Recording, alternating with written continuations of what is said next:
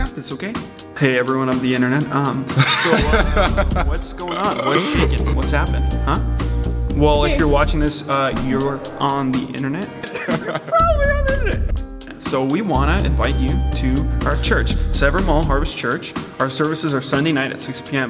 We're pretty excited about what God has been doing at our church. Yeah.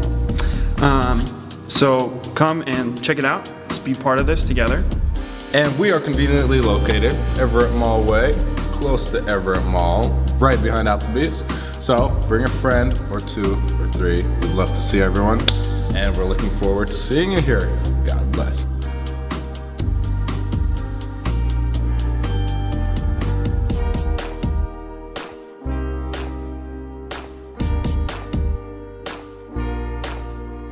Come be a part of this. We're doing it, Hey, what's going it. on? Okay. Just kind of wondering if you're on the internet.